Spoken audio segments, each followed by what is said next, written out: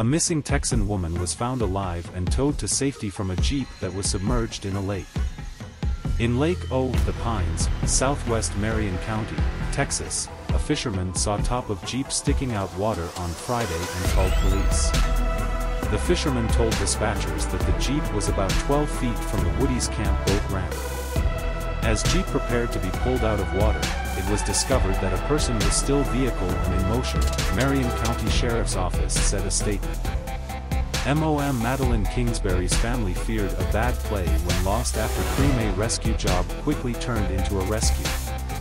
The repair service, fishermen and deputies worked together to rescue woman from the jeep, and EMS treated her while taking her to hospital.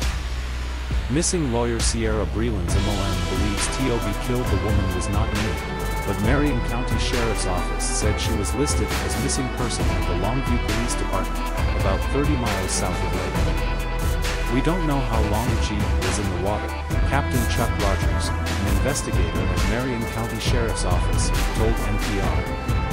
And that's just one of the few questions left unanswered about the unusual case.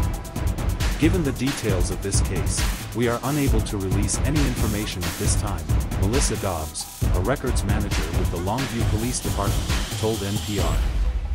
Police had not released any further information as of Wednesday morning.